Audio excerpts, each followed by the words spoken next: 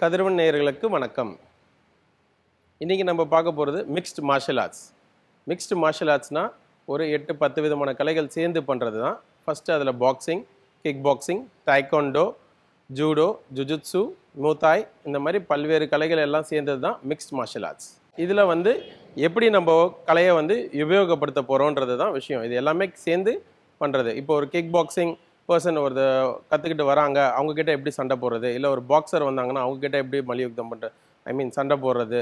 இந்த மாதிரி விஷயங்கள்லாம் இருக்குது ஒரு ஒருத்தர் ஒரு ஒரு ஸ்கில்ல இருப்பாங்க. அந்த மாதிரி ஸ்கில்ஸில் இருக்கிறவங்க எந்த மாதிரி பர்சன் வந்தாலும் நம்ம முன்னாடி அவங்கக்கிட்ட எப்படி எதிர்கொள்கிறதுன்னு பார்த்துக்கலாம்.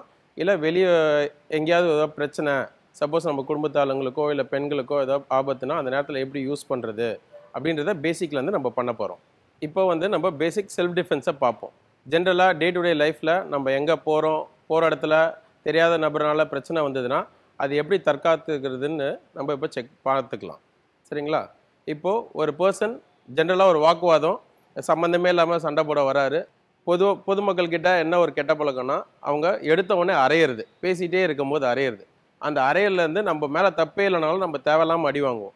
அந்த அடியை எப்படி நம்ம பிளாக் பண்ண போகிறோம் அது எத்தனை விதமாக பிளாக் பண்ணலான்றதை நான் உங்களுக்கு காட்ட போகிறேன் சரிங்களா? ஃபர்ஸ்ட் இவர் என்ன அறைய வராரு.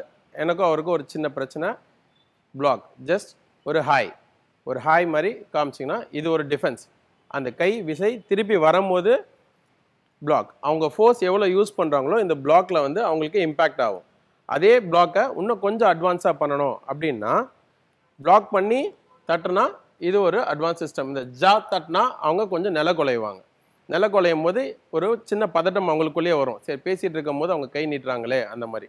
இதே இன்னும் கொஞ்சம் அட்வான்ஸாக பண்ணணும். இல்லை இந்த பர்சன் ரொம்ப முரடனாக இருக்காரு. இல்லை எடுத்த உடனே பேசுகிறதே கேட்காம காட்டு மேனிக்கு அடிக்கிறாரு அப்படின்னும் போது ஜஸ்ட் இதை பிளாக் பண்ணி இதை இழுத்து ஒரு நீஸ் கரெக்டாக இம்பேக்ட் இதே ஒன்று அடுத்த டிஃபென்ஸில் போகணுன்னா ஜஸ்ட் டேர்ன் பண்ணி ஒரு கிக் பண்ணிடலாம்.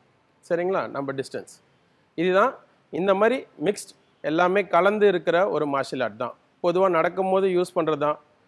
டெக்னிக்கலாக ஸ்போர்ட்டாகவும் யூஸ் பண்ணலாம். இது ஸ்ட்ரீட் ஃபைட்டாகவும் நம்ம டிஃபென்ஸ் எடுத்துக்கலாம். இப்போது பார்த்தது எல்லாமே ரொம்ப பேசிக்கான ஒர்க் அவுட்ஸ் அது எப்படி எப்படி இம்ப்ளிமெண்டேஷன் பண்ணணும் இதை விட அட்வான்ஸை எப்படி யூஸ் பண்ணணும் ரிஃப்ளெக்ஸ் ஆக்ஷன் எப்படி ரெடி பண்ணணுன்றதை நம்ம வ மேலும் மேலும் வர எபிசோடில் பார்த்துக்கலாம். நன்றி வணக்கம்.